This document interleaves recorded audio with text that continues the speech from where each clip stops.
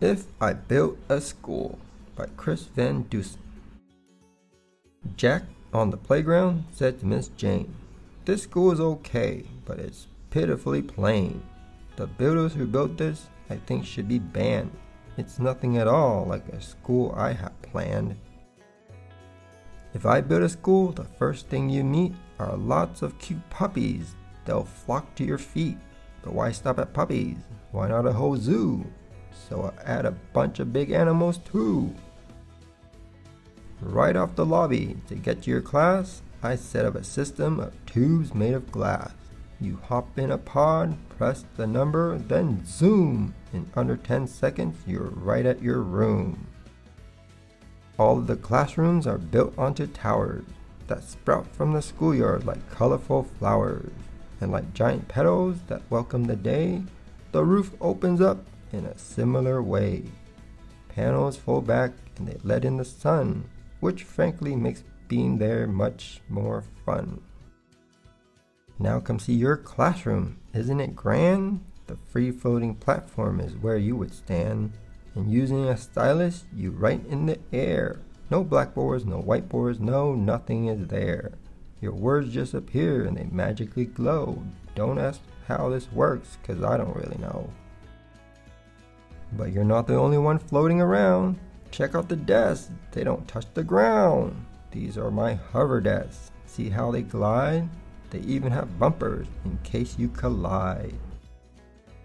In my kind of classes, we wouldn't have tests. I'd liven things up with some hologram guests. Here are some samples of what I'll be thinking. You might meet a T-Rex or Abraham Lincoln. The library's next door, so let's have a look. You won't find your everyday regular book. These books come alive when removed from the rack. They pop up like pop-ups, but pop-ups to the max. And if you're not sure what a book is about, you'll find out quite quickly when something pops out. It's off to the gym, and this place is so cool.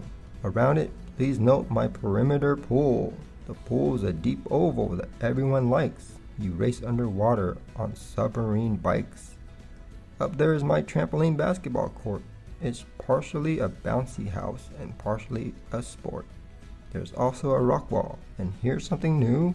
I've added some skydiving wind tunnels too. I just heard the lunch bell, so let's go eat.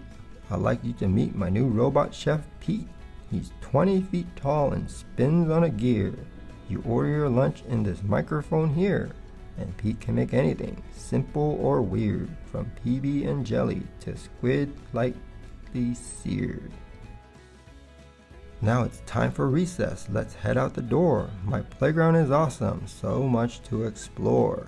Fly on a zip line way up in the sky, or slide down the twistiest slide three stories high. And after all that, if you're hot and you're beat, then you can go tubing. Now, that would be sweet. In art, we use sprayers to splash out the paint. In music, we're loud, but our teacher's a saint. And over in science, just one of the features is lab-grown genetically modified creatures. We'll visit new places, travel, explore, cause we'll go on a field trip, field trips galore. My specialty buses will tote us around. They drive underwater. They blast off the ground. And yes, they have wheels like our regular cars, which neatly retracts when we rocket to Mars. My school will amaze you, my school will astound. By far the most fabulous school to be found.